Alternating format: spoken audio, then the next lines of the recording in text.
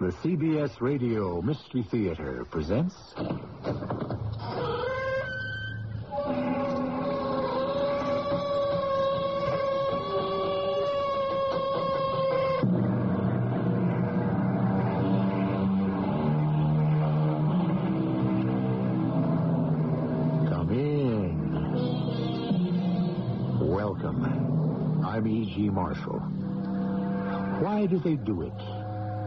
Relinquish a life of reason and relative quiet for anxious days and inevitable discovery and death. Who are they? The spies, the undercover agents, the counter spies, the double agents, all those who deal in espionage. Today, an account drawn from the life of the most controversial spy of her time, Mata Hari, and an attempt to unseal the mystery of a woman considered too dangerous to live. What is this work you offer me? Espionage. What? To be a spy. Me? A spy? Madam Mata Hari, I believe you are the ideal person to spy for Germany. But I know nothing about it. It doesn't matter. We can teach you.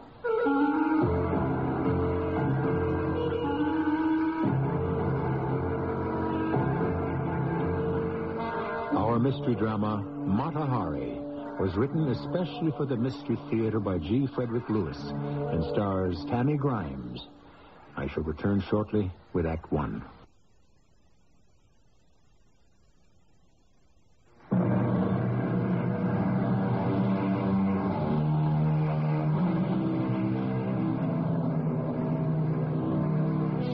Gathering intelligence has been an essential occupation for thousands of years. What, in essence, is the other country up to? 1300 BC, the Hittites sent spies to check out the intentions of Tutankhamun's widow. Their instructions? Bring me back reliable information, ordered the Hittite prince. Espionage is not a game for amateurs, yet there are many who do it for love or money. Among them, the beautiful dancer Mata Hari, who discovered spying far more dangerous than glamorous.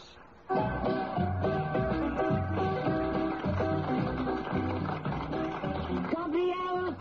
Gabrielle! What are you doing in my dressing room? Waiting for you, my flower. What kind of a manager are you? You're supposed to be out front, putting a stop to this nonsense. I was never so insulted. I don't know what you're talking about, my dear. You are the sensation of Berlin, and there's no nonsense about that. You are a fool, Gabrielle. Don't you hear what that idiot Stempfel is doing with his orchestra? I finish a serious Javanese dance. Exotic, lovely, tender movements, and after my last curtain call, he has the orchestra play Ta-ra-ra Boom-de-ay, as if I were some vulgar can-can dancer from the Moulin Rouge. I'm leaving Berlin tonight. My dear child, they don't know what to make of Mata Hari. It's because your dancing is so unusual, because you've just come from a sensational engagement in Paris. That's why they play the French can-can. No one in his right mind would want to insult the unique Mata Hari. You think so? You really think so? Oh, I send in your dresser, Louisa. You get into your street clothes, and we're going to have some coffee at the Sacher. And chocolate cake? No, oh, no, no, no chocolate cake. Wearing as little as you do, every pound is noticeable. Oh, go see who that is and send him, Louisa. I'm so tired. Yes? Bitte, I'm Hans van Jago, Chief Berlin Police. Oh, you've come to arrest Madame Matahari or compliment her? Certainly not to arrest her. It is the chief of Berlin police to see you, darling. Is he in uniform? But of course. Have him wait and tell Louisa I'll call her when I want her. Please, Herr von Jago. Madame will be out presently. I will wait for you outside, darling. Herr von Jago, this is indeed a pleasure. Please sit down. I hope I am not interrupting you. Not at all. I was about to get out of my costume, but since I have a visitor, I shall rest here on my chaise. Would you pour me a little drink from the bottle and do help yourself? You may sit on the edge of my chaise if you wish. I think your uniform is splendid. I've always liked men in uniforms. Thank you. Cheers. Prosit. Delicious. Nicht wahr? You speak German very well. And French and English and Dutch and Javanese. How nice of Berlin's chief to come see me backstage. My pleasure. And I brought you these roses. My compliments. Roses. My favorite flower. I cannot get enough of them. Roses. In December. I think, Herr Van Jago, you deserve a little private temple dance as a reward. I keep this phonograph with me always, and when I am sad, I play the music of my people. Why should the beautiful Matahari ever be sad? My life is lonely, and I am used to the finer things which the little money I have cannot buy. I should have thought your extraordinary dances would be very well paid. In the ordinary sense, yes, for ordinary persons. But for Matahari, who must ride in her own carriage, my diet can only be the finest of food, jewels, furs. Matahari is not asking too much. We will not talk of money or finding some benefactor truly appreciative of the arts.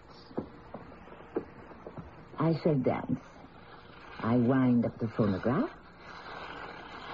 I place the needle on the records, so. Then I pick up my finger bells, so. Four on each hand. And we lose ourselves in the music of the soul. Evaniago, did you really come to see me only as an admirer? I confess there have been complaints. Complaints? no. That my program is short, perhaps. That I dance too little? That you, uh, wear too little. In Paris, I wore far less. Unfortunately, Berlin is not Paris. People here are not accustomed to such a wild spirit as yours. Thank you. And what do you think, my dear Berliner Chief of Police? Did I wear too little? Not at all. You give so much, madame. It is perfect. Madame, I would be greatly honored if you would allow me to take you to a little supper tonight. We could drink and dance. A champagne supper. What a beautiful idea.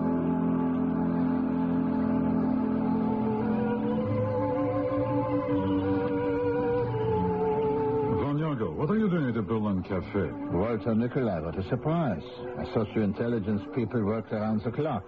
Uh, when you look at those couples dancing, you wouldn't think Germany has just declared war. We have. Germany on France and England, no one told me. Uh, an hour ago. Uh, Hans, I imagine you're not alone at this table. One doesn't drink champagne by oneself. I have a beautiful and exceedingly talented lady with me. She has just gone to uh, powder her nose. Ah, here she is. Ah, Matahari, the Hindu dancer? She is with you. Javanese. Gentlemen, May I present Madame Colonel Walter Nikolai, Colonel D. Matahari. An honor. Uh, may I uh, join you for a moment? certainly. Please, everyone sit. Which was my glass? This one? I drink to you both. The Colonel is in charge of all German intelligence. A master spy. Oh, how I envy you. Especially now that we are at war. What do you think of that, Hans? This beautiful woman is more abreast of military matters than you. you see, Herr von Hagel didn't hear the Kaiser's declaration. I've always loved the man in uniform. he has fascinated me since I was a little girl. I did not know that. It was your uniform, Hans, that first struck me. My husband, rest his soul, was a most handsome British officer who met me in southern India and carried me away. I was 17, swept off my feet You were born in India, madame? in the south, on the coast of Malabar in the holy city of Jaffnapatam, of the sacred caste of Brahma. My father was called Asavadam. My mother, a famous temple dancer in the temple of Kandaswami. She died when I was born, and I was adopted by the temple priests. They named me Matahari, which you may know, means eye of the morning. And then in my extreme youth, I was trained in the holy rites of the dance in the Temple of Siva. Wonderful. Fascinating. Every gesture of the dance has a spiritual meaning. Oh, madam, may I have this waltz? Certainly. Uh, you'll excuse us, Hans. I have no choice.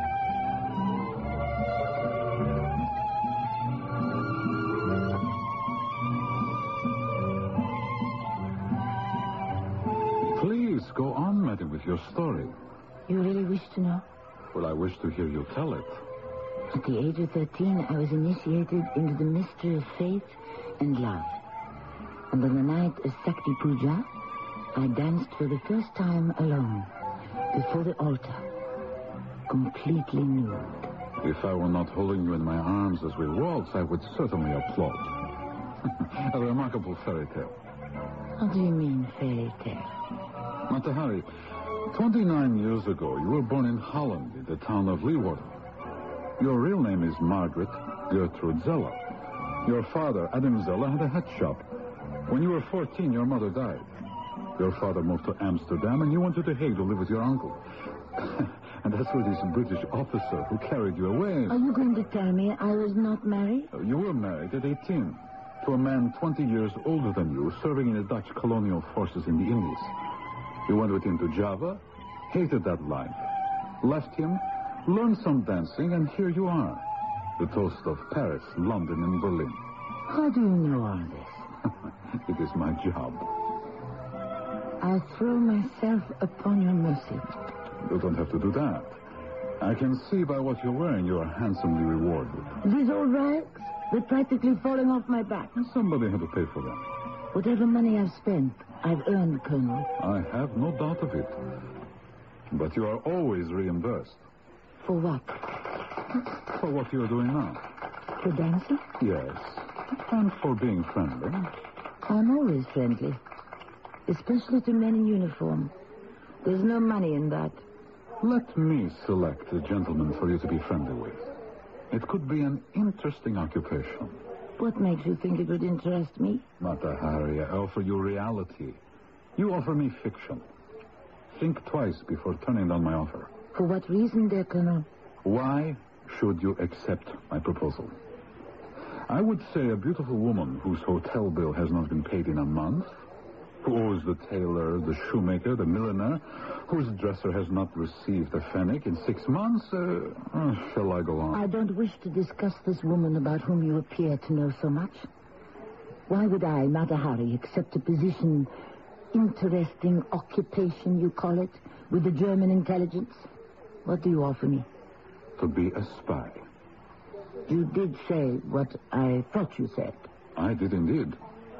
Madame, in my opinion, you could be the ideal person to spy for the Kaiser. You speak French, you speak English, German. You know your way about the continent. Paris, London. You are accepted everywhere as an artist. I would like to accept you as a spy. But I know nothing about it. We will teach you. How much money is there in this work? hmm Hundreds of thousands. When do I start?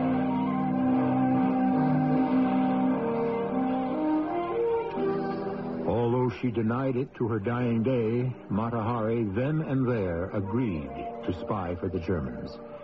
As she had done in the past, she would continue to entertain her old friends of the French military and whatever she could learn pass along to German intelligence.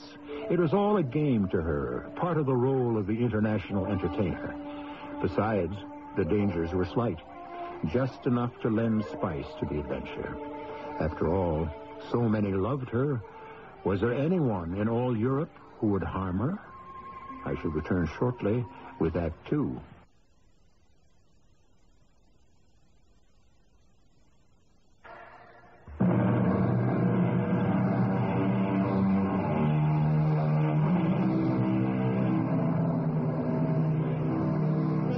In the White House at the end of Seminary Road in Antwerp, in the heart of unsuspecting neutral Holland, the Germans ran a model spy academy.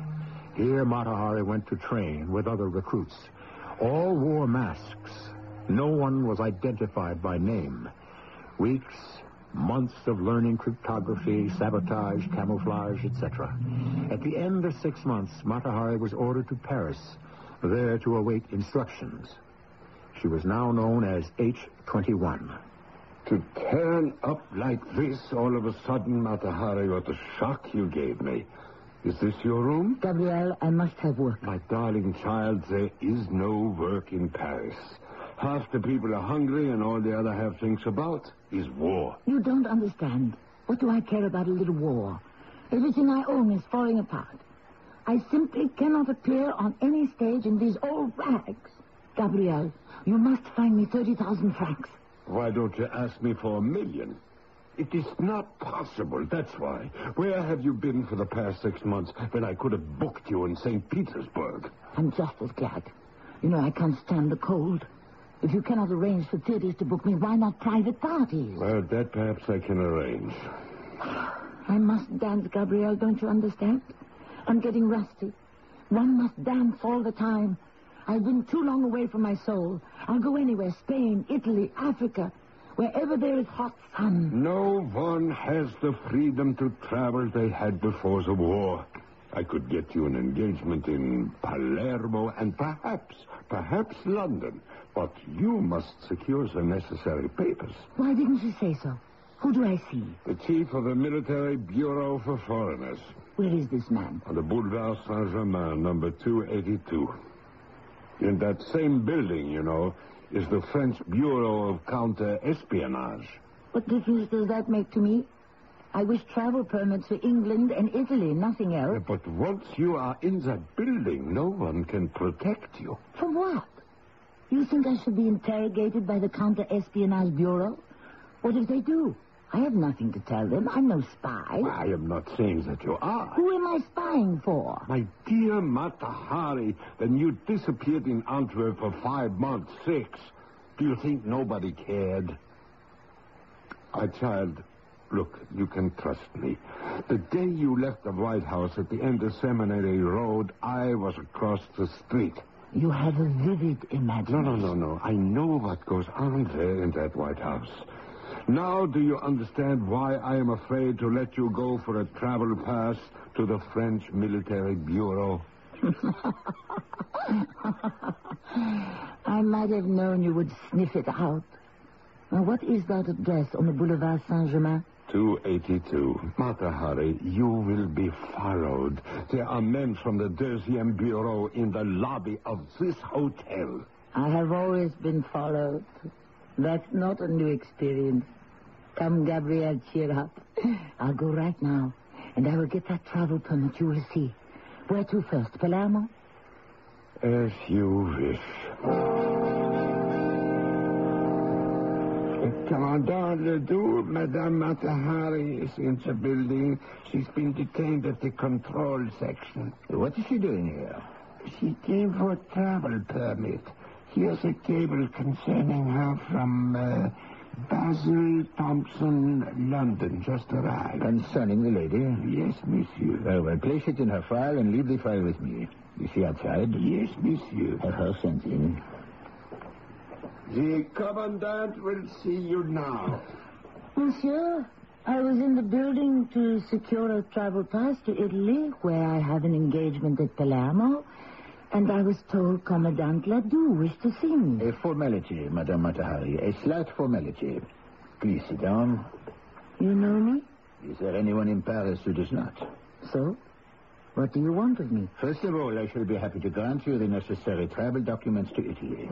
In that case, Commandant, do me the favor and tell those plainclothesmen downstairs who stick to me like my own shadow that since it's a very warm day, you give them permission to drink to my health in the bistro across the street. You're being followed. Are you sure? My dear man, I am always sure. It is not possible that Ladoux, the chief of the Deuxième Bureau, does not know I am being followed. Why is this? We have received cables from the British that you are in the employ of German espionage. Why do the British talk such nonsense? You are not a German spy. I am a dancer, Commandant. This idiotic game has to end. If you consider me dangerous, then expel me from France. If I am only a nice little dancer who wishes to seek employment in Palermo, let me have my travel pass and let me go. Here is your passport. The permit is in order. You are still a Dutch citizen, no? Proud to be and neutral. Stay neutral. You will live longer. I would like to see you again, madame, when you return from Palermo. My pleasure.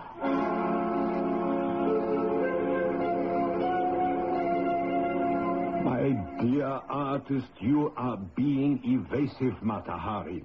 Yes, Gabriel. What happened at Palermo? Nothing happened.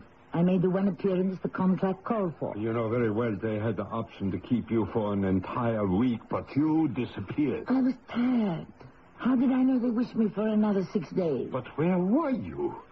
Oh, you're an impossible woman. I don't know why I continue to manage you. I was here, in France. And you sent me not one word. The, the, the sleepless nights I've spent worrying about you. Gabriel, I shall be honest. I have fallen in love. I'm not surprised. You have wished to be in love for a long time. Who is he? His name is Captain Vadim Maslov. He's Russian. He has fought for France and is now convalescing from his wounds in Vittel. I was there. I'm glad to hear it. Are you going to marry? If only I could. I tell you this. He's the only love of my entire life. Does he love you, my child? Yes. Then why not marry? I'm 40 and he's 25. He comes from a noble family, and what am I? A dancer of Javanese temple rites. A dancer. Also the toast of many cities. That doesn't matter to his family. There is only one way I might impress them, and that is by having money. Would the uh, Germans maybe give you an advance? I have yet to receive an assignment. All that time wasted in Antwerp. Six months. Why did I say I'd work for them? I was stupid. Only the French know what information is worth. The commandant. The commandant. Why didn't I think of this before?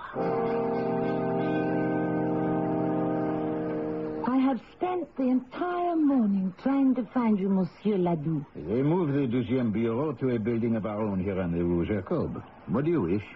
You wanted to see me when I returned to Paris. Only to make certain you are in good health. But I can see you are in extraordinary health.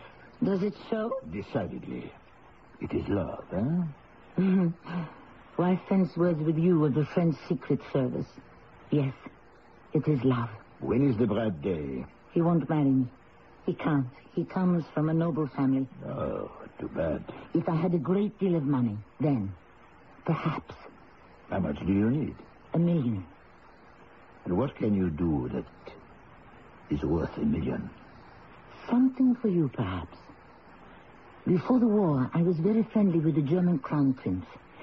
If I became friendly again, and uh, let us say, during our friendship, I listened while he talked about German war plans, and gave you that information, Monsieur Ladoux, would you give me a million? If you were an exceedingly good friend of the Crown Prince, he should give you the million. You don't believe me. I've only to wave this little finger, so. The Germans adore me, always have. They treat me like royalty. Madame, do you really wish to enter our secret service? It is dangerous work. I never doubted it. Let me tell you something. I am absolutely certain that you are spying for the Germans. What? Let me finish, I beg you. What I cannot understand is why you have just made me a proposal which will make it necessary for you either to betray the Germans or ourselves. You are an infant in this business, so let me warn you. If there are any hazards worse than being a spy, it is being a double agent. You don't know women, monsieur. The worst hazard in the world is to be a woman in love. Truly in love for the first time. And to be afraid it could slip through your fingers. It is for that I am gambling. Madame, betray us, and it is the firing squad. Will you stop scolding me and warning me? Am I in your employ? Yes, Is it worth a million? it is up to you to prove that. My first assignment is what? You will go to Holland, but not directly. I have booked your passage via Spain. This is your itinerary. You were very sure of me, weren't you? We knew about Captain Vadim Maslov and yourself at Vittel. After all, a Frenchman does know something about love. Your first stop, Irun. From there you will take the Midnight Express to Madrid, and from there to Vigo. Then, embarking on the SS Hollandia bound for Rotterdam. Everything is said down here. Memorize it and destroy it. One favor. It looks better on the train if a woman is not traveling alone. Can I ask my manager to accompany me as far as Madrid? If he pays his own way, why not? Outside, my assistant has a packet of money for you. Not a million, but enough to take care of you to Rotterdam. The train connection to Irun from Madrid leaves tonight. Give Gabriel my regards. You know Gabriel, my manager? We were in school together. He went into the theater, I went into the police. Bon voyage.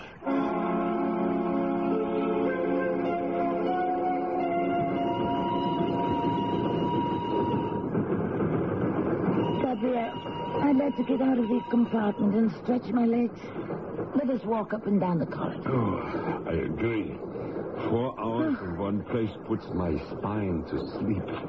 I'll slide back to the door. Gabriel, you never told me you knew Ladoux. Oh, I'd forgotten all about him until you mentioned it. That man in that compartment sitting in the corner. He's watching us, isn't he? He was. He can't see us now. Did you notice his mustache? How could one help it? It's enormous. There's something peculiar about it. Yeah, I agree with you. When do we get to Madrid? Another hour about. The train is slowing down. Are we stopping here? Let's move to the ends of the car. The windows open so I can look out. There's a car on the road below the tracks. It is stopping also. Look, it's a man with a big mustache. He's running down the embankment and getting into the car. Oh, I have a nasty feeling. Let's get back to our seats.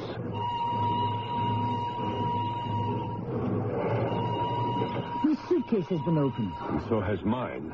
That gives me a lot of satisfaction. Oh, it does, huh?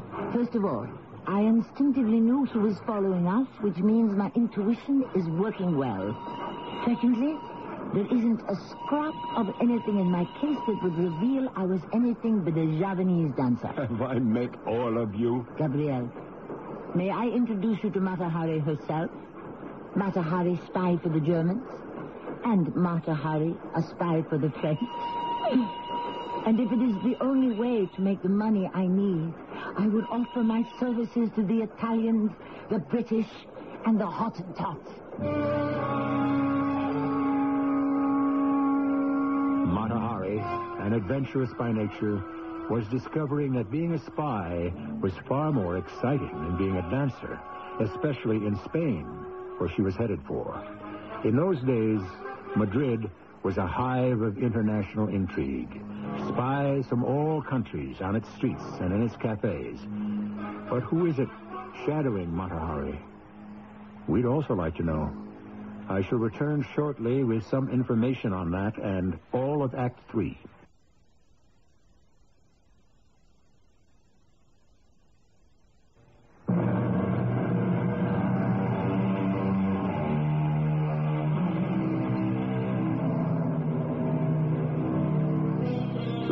Roundabout way Matahari was instructed to get to Rotterdam from Paris was typical of the doubling back on one's tracks used by espionage agents. As she made her way out of the Madrid railroad station, Matahari was suddenly seized and pushed into a car. The car took off, leaving Gabrielle, her manager, standing at the curb. What do you think you're doing? Let me out of here. For three hours, you sat in the compartment opposite me and did not recognize me. Hans. Hans von Jakob. It's the mustache, and you dyed your hair black. I told Gabrielle there was something wrong with your mustache. Why are you in Madrid? Why are you not in Paris? We ordered you to Paris. I waited for word from you, nothing. So you followed me and searched my luggage. I hope you're satisfied. I hope Walter Nikolai will be satisfied. If he wishes my services, he should give me orders and money. These are your orders. Tomorrow's the night train back to Paris. H21 we regard you as a full-time employee of the Kaiser. And so that you do not mistake that. Driver, would you be good enough to turn your face around, please? A pleasure. Uh, Nikolaya. Everything has been made clear to you, H21. Tomorrow night you leave for Paris. What do I do when I get there? As you were told, go to the Dutch legation. Your contact will have money and your assignment. I shall stop the car now and let you off.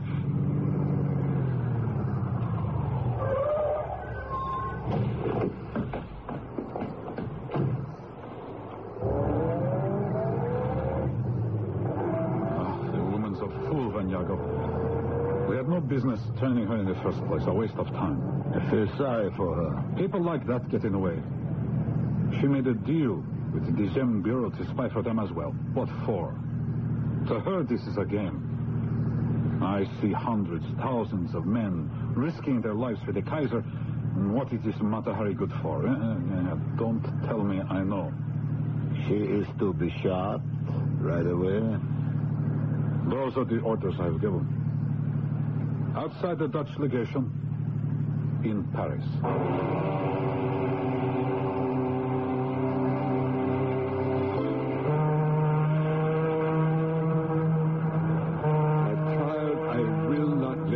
This voyage alone. And certainly not after you tell me that the Germans have ordered you back to Paris tonight. The Hollandia will have sailed by then, and I am on it bound for Rotterdam. What can they do?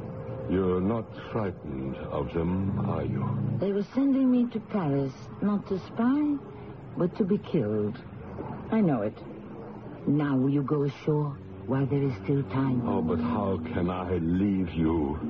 I wouldn't have a moment's peace until I knew that you'd arrived safely in Holland. It's one straight line from Spain to Rotterdam. What can go wrong? You have a facility, my dear, to make the worst happen. There's only one stop before Rotterdam, and that is Falmouth. Falmouth, England. I never had any trouble with the British. They adore me in London. But I am taking the entire trip back with you. I am going below now to speak to the purser, pay for my passage, and I expect to find you right here on deck when I return.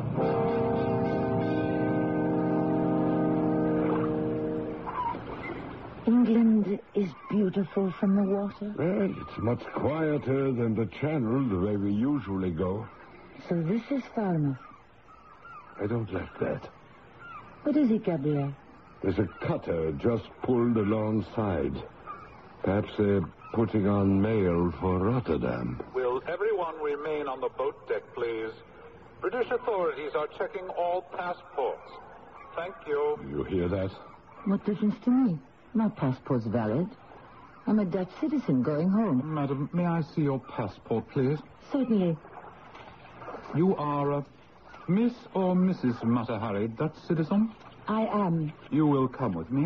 Why? I'm going on to Rotterdam. We have reason to believe this passport is false.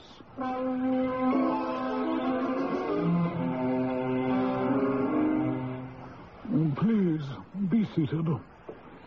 I demand to know the meaning of this outrage. I am a Dutch citizen on my way from Spain to Rotterdam. I was forced off my ship at Falmouth and brought to London. Where am I? This is Scotland Yard, madam. Hmm. Can you explain why you are traveling to Rotterdam? I am a Dutch citizen. I wish to go home. Who directed you to go to Rotterdam? No one. No one. No one. Is that clear? Well, I hear you clearly enough, but I don't believe you. In Berlin and elsewhere in Germany, you have been seen in the company of the highest military officers. No matter what country I'm in, I will only spend time with the top rank. Do you see me having a cup of tea with one of the small fry in your passport control section? Hardly. But I might have tea with you, Sir Basil. I should be honored. You are a gentleman. You regard me as an enemy spy, yet your manners don't falter. As for spying, yes, I admit it. I admit it to you, Sir Basil, personally. I admit it. I had come to England to spy. Really? But not for the Germans, as you may think. I am in the employ of your ally, France. Really? Get me Ladoux, Bureau, Paris. If this is true, Madame Mata Hari, uh, a thousand apologies. How can you treat a citizen of a neutral country like this? Because it appears you're engaging in unneutral acts. It appears. It is rumored. Our information tells us. Anyone can lie to you and you believe them. Hello, hello. Ladoux? Oui? Uh, Basil Thomson, British intelligence. We have Mata Hari here. Who? Uh, Mata Hari, of whom we have sent you several reports. Ah, oui, oui, yes. She, she tells me she is employed by your bureau as an agent. That she came from Spain and is on her way to Rotterdam. I do not understand anything. Send her back to Spain. You neither affirm or deny she is your agent. Send her back to Spain. Do you hear me? Uh, he said we should send you back to Spain. I don't understand that man at all. You must know that if anything goes wrong, the intelligent agent is on his own. No one rescues him or her. We have warned Ladoux you are a German agent. If he has engaged you, he will not verify it. Uh, why does a woman like you get into this? It, it's very dangerous. For love. For stupid love. I wish to marry. And the man I love is recuperating from war wounds in a French hospital. I took Ladoux into my confidence. He said he would pay me well. But I have yet to reveal one secret to him. Well, I shall release you, but I advise you. I know this business. Do not set foot in France again. You will be caught and executed. Why would they? Oh, my dear, you're an amateur in these matters and not very clever. If indeed you are a double agent, or think you are, you have botched it completely. Now take the advice of a man almost twice your age. Give up this awful profession before it's too late.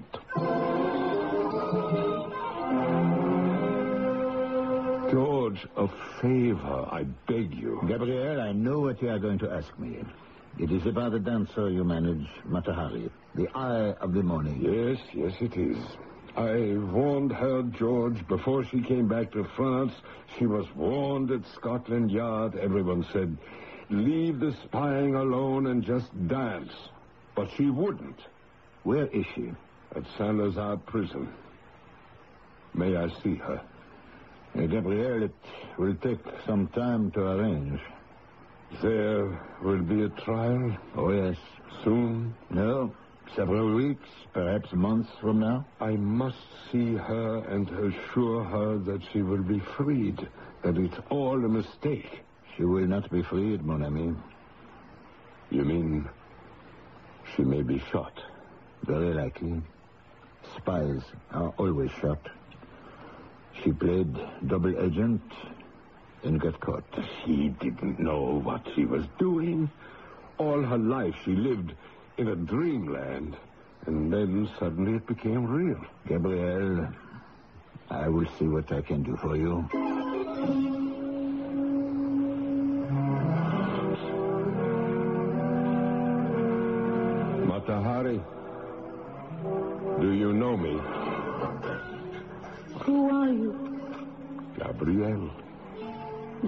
Dark in here.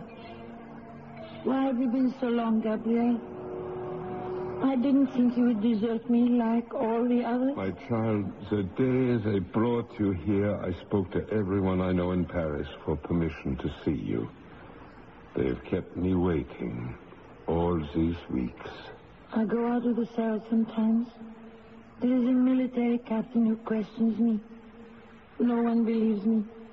What do they say? Here is a beautiful woman, they say. Gabrielle, it's a good thing you can't see me. My beauty is gone, gone, and fat. My skin broken out. I was always, always so careful of my skin. They don't let me wash. Here is a beautiful woman, they say. She speaks five languages. She has friends in every capital in Europe. Where are those friends, Gabriel? Did you see any friends of mine out there? I am trying to get several influential people together to speak of your good character so you will have help when the trial comes. No one will speak for me. Will you deliver a note to Captain Boucheron? He can get me news. I must write a nice note, not hysterical. Have you pencil and paper? Yeah, I, I brought some. I will sit on the ground by the door so I can see. Go ahead. I would be grateful if you would give me some news of Captain Maslov. I am worried and weeping such a great deal. Please search for him in the hospital at Epernay. You do not know how I suffer. I can't bear it anymore. Gabriel, you will take that message. I promise, little one, I will deliver it myself. We were hoping so much to have a life together.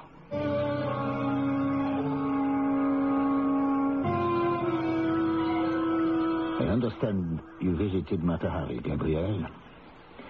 Tell me, is she worried what will happen to her? No, never mentioned it. She only lives for a word from her beloved Vadim Maslov. You have seen him? Oh, yes. I went to the hospital with Captain Boucheron, who's conducting the investigation. This Maslov, he doesn't deserve her love. I, I read him the letter she had me write. The captain asked him, was it true? Had he loved Mata Hari? And he said, he said never. They will find her guilty of treason. George, you, I, everyone else are as much to blame for all her wiles, her abilities, her little victories, even her pretense of taking the Javanese name for the eye of the morning. She, she was an innocent, a child. And like the little match girl, she has learned too late not to play with fire.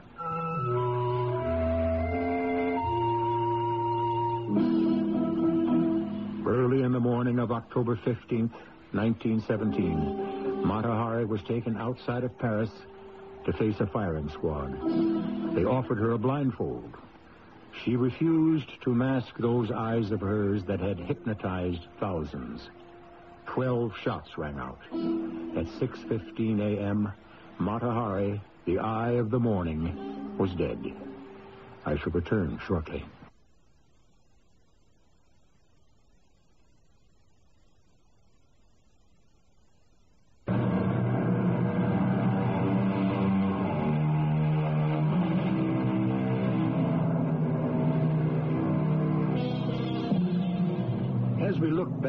At the story now, it is evident that espionage as a trade can only be successfully carried out by those who are impersonal. It is not a game to play at. The price outweighs the rewards. Chance and luck are not partners, for in such a duel with fate, even a beautiful woman can be overwhelmed by a misfortune. That was the tragedy of Mata Hari. Our cast included Tammy Grimes, Arnold Moss, Lloyd Battista, and Mandel Kramer. The entire production was under the direction of Himan Brown. This is E.G. Marshall, inviting you to return to our Mystery Theater for another adventure in the macabre. Until next time, pleasant dreams.